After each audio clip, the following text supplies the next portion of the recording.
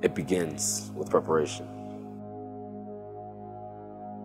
We put in time in the film room, in the weight room, on the field.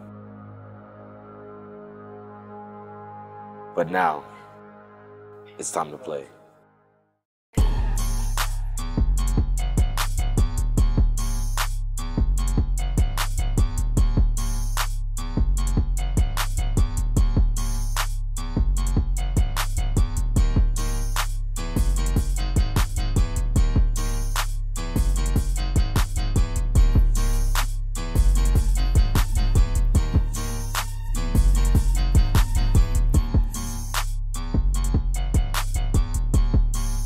This is Trailblazer Pride.